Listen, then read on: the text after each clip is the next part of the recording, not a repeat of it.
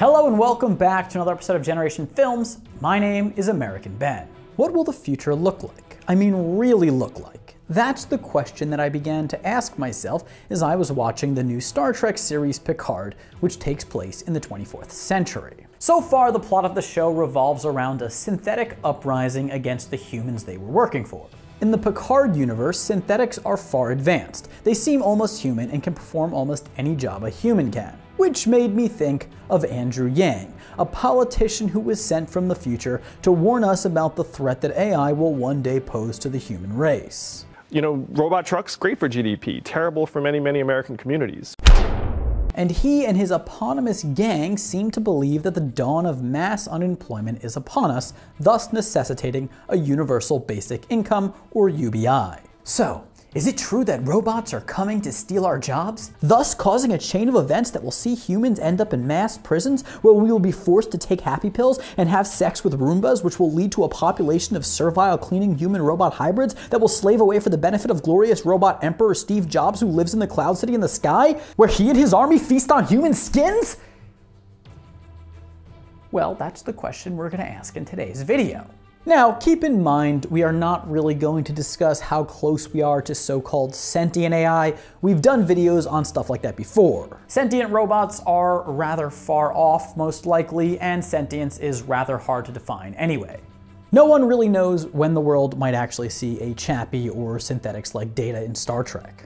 What we want to focus on is automation and the practical roles that robots will serve in in the future. Anyway, in 2017, McKinsey Global Institute reported that 73 million US jobs could be lost to automation by just 2030. Also, at the end of last year, Heward Smith of Forrester, an American tech research company, told Fortune that 73% of all cubicle jobs would be gone by 2030. Then, an Oxford economics report, also from last year, predicted that 20 million manufacturing jobs around the world would be lost by 2030. Of course, AI and robots are the root cause of a lot of the job loss. According to a 2018 briefing by McKinsey, the jobs that, quote, include physical activities in highly predictable and structured environments, as well as data collection and data processing, end quote, are the ones most at risk for being eliminated. Basically, the simpler or more repetitive your job is, the more likely you are to lose it to automation. McKinsey estimated that about 5% of occupations are susceptible to being fully automated given current technology, but that a significant portion of most jobs can be automated. Thus, the nature of jobs in almost every sector will change to a degree. And while this might make life easier for some workers, for others, it could leave them without full time work. For myself, I'm not really sure. I'm a YouTuber. I don't really think I'll lose my job to an algorithm, but even now, I pray and sacrifice baby sheep to one.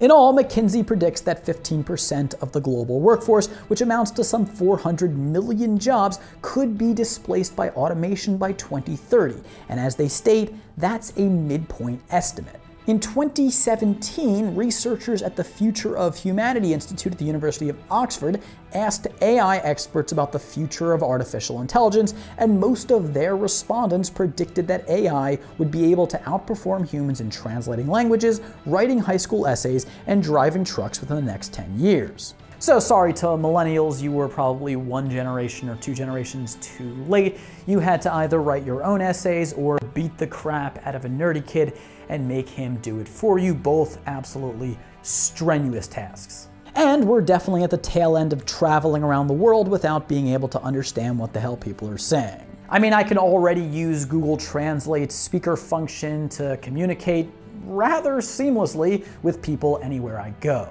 Just recently, I was in South Korea and was able to have a full on conversation with my cab driver about baseball, despite neither of us speaking more than a few words in the other's native language. And then we have truck driving. The job at the core of the American soul will perhaps one day become automated as well. Which obviously means we will no longer be able to easily pinpoint the people most likely to be serial killer rapists. Most of the experts in the Oxford study also think there's a 50% chance that AI will outperform humans in everything within the next 45 years. So, what am I getting at here? Is it all doom and gloom? Well, no. The McKinsey report predicts that while AI will steal a lot of jobs, it will also create a lot of jobs. McKinsey predicts that new technology such as automation itself and new sectors could create between 555 million and 890 million jobs between now and 2030, which more than offsets the number of jobs that are predicted to be lost.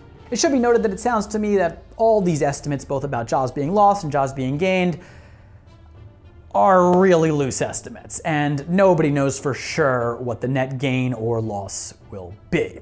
But no matter what, even if there's a net gain in jobs, it doesn't mean that there's absolutely nothing to fear, because the skills that people have will still need to change. McKinsey predicts that as the demand for physical and manual skills decline in the near future, the demand for technological and digital skills will increase rapidly, as will the demand for more intelligent workers with better social, emotional, and cognitive skills. There will be an increasing premium on creative and critical thinkers. Simply said, learn to code. The transition that will be required of today's workers in order to adapt to the very near future economy will be very challenging. We aren't talking about centuries into the future here, but just a decade. Current workers are going to need to be retrained and shifted to other professions, and companies are already preparing for this shift. Amazon gets a lot of heat for some of their labor practices, and to be fair, my friend who works for them did almost die after being forced to test their new 5 minute delivery teleportation machine. He is pretty much fine though, his legs just melted. But to Amazon's credit, last year they announced that they would spend $700 million over the next six years to retrain a third of its US workforce in preparation for the changing economy. So even if new jobs are created by automation, there will likely still be mass unemployment if people just sit still. Today's workers can best prepare themselves for the future by constantly learning new skills, especially those that are applicable to the changes one's company is making. Let's say you're working in a warehouse packing products by hand, and your company brings in machines that can pack the products for you, then it seems like a smart way to go would be to learn how to operate the machines with expertise. Or better yet, if you can, go get retrained and learn how to build and repair these machines.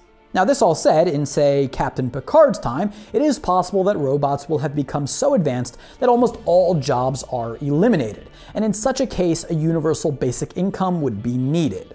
And hey, please keep in mind that the stats I'm presenting in this video have to do with the very, very near future, 2030 or so.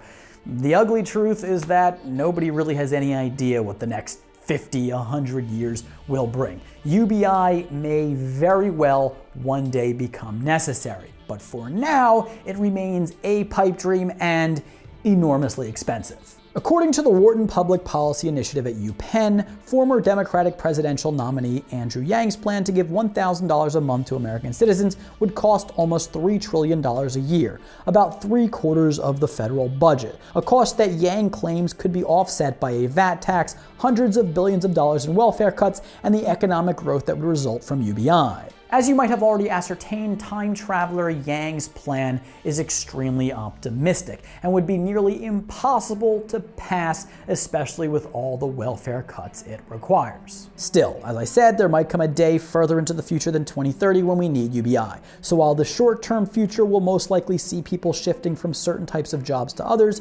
such as from building the cars to operating the machines that build the cars, in the very long term, it seems logical to me that people won't be employed as much or will have more opportunities to pursue their passions. It's really hard to predict because the world could experience major changes in the future that spur the creation of unforeseen jobs or destroy everything and everybody by way of nuclear winter. Either way sounds exciting to me. And hey, just because a job is rendered unnecessary for humans to do doesn't necessarily mean it will be eliminated. In Star Trek, we still see people doing some jobs that robots might be able to do in the future, like working a front desk. But sometimes you can't beat human interaction. I kind of feel guilty every time I'm in a store and I bypass the human clerk to check out using the automated systems when they're available. I know that every time I hit that checkout button on the screen, I'm starting a chain of events that eventually will kill a Walmart employee. But I do it anyways because I feel nothing inside. So maybe the next time you're in a store with the self-checkout computers, go up to the checkout counter, look into the clerk's eyes and say, I got your back today, Karen, because fuck robots. But yeah, robots are going to change the way that we go about the world. Literally. After all, many companies are working on developing self-driving cars. But as Bryan Reimer, a research scientist in the MIT Center for Transportation and Logistics told Business Insider last year, while a lot of people might believe that fully self-driving cars are available for purchase today, thanks to misleading statements on the part of entrepreneurs like Elon Musk, the systems in such vehicles are only meant to assist a driver and not act on its own. As Greg McGuire, Associate Director of M-City, a 32-acre mock city and proving ground on the University of Michigan's campus that is dedicated to the development and testing of driverless cars, told Business Insider, we are still a ways off from a car that can truly make its own decisions. I mean, self-driving cars have to be perfect, right? It can't be like, well, it only veered onto the left side of the highway once today, so not bad. So truck driver jobs, especially because they require much more than just driving, are likely not going to completely disappear anytime soon. Still, the trend does seem to be towards autonomous vehicles, and in the future, such will probably become an option in planes, trains, and automobiles. However, as Dirk Wisselmann, a senior engineer in automated driving at BMW, told Business Insider in a separate article back in 2018, quote, in 50 years' time, I think we will see very diverse mobility. We will have autonomous cars, and I think we will still have manual driven cars because I think it's really the choice of the customer. For safety reasons, we will make the conventional cars also very safe. It's not necessary that we really need completely autonomous driving, only driven by safety, end quote. Yeah, I mean, people choose to buy boats and private planes today just for the enjoyment of driving and piloting them. I don't see why people wouldn't still want to drive cars in the future. But no doubt that all trends point towards a much safer future, and robots are already leading the way in increasing safety and eliminating mistakes, whether in driving or medicine. In 2017, a study performed by Massachusetts General Hospital, Harvard Medical School, and MIT's Computer Science and Artificial Intelligence Laboratory showed that an artificial intelligence system they developed was more efficient than radiologists at detecting high-risk cancer lesions that need surgery. Additionally, just a few weeks ago, Britain's National Health Service announced that a robot capable of minimal invasive surgeries would begin to work in NHS hospitals. However, we are still very far away from robot doctors that can operate on their own. Additionally, as an article on the Brookings Institution's website points out, a major challenge in developing AI that can perform medical duties and identify diseases is that human doctors often use their intuition to identify sick patients that might not appear sick or display markers that would lead a computer to conclude that the person is sick. Again, this goes back to the obstacle of getting robots to think like humans and be able to reach a level of awareness where we might call them sentient. In general, though, in the future, AI algorithms will do a whole lot more than demonetize this video. They will constantly be predicting things around us, from sickness to market crashes to climate change. The robots and AI we see in the future are less likely to rise up against humans and are more likely to make things easier for humans while changing the nature of the economy and jobs. Far off into the future, people may very well not be required to do many jobs, especially the crappy ones, and robots will fill in everywhere from performing surgery to flying planes to predicting the weather to fighting space wars, which is gonna be awesome. But unless we hit some breakthrough in technology, it's also likely that wherever robots are in action, so too will humans be guiding them and making the ultimate decisions about how to proceed with tasks. Long story short, a computer in the future might be able to operate the Enterprise, but Captain Picard will still be needed on board to make sure that things are running smoothly and to offer professional support to his female colleagues. Anyway, that's the video. Hope you enjoyed. If you did, please do give it a like. Comment down below as well. Let me know what you think about the video, what you think about the future of automation. Maybe you think that everything I just said was absolutely correct. Maybe you thought it was all absolutely idiotic. Maybe you didn't like the fact that I brushed aside the threat of future robot uprising. Whatever it is, go ahead and participate. I want to hear what you have to say. I appreciate you, man. Anyways, for now, remember to subscribe to our channel and hit that notification bell. My name is American Ben and I'll catch you next time. Generation Films, peace.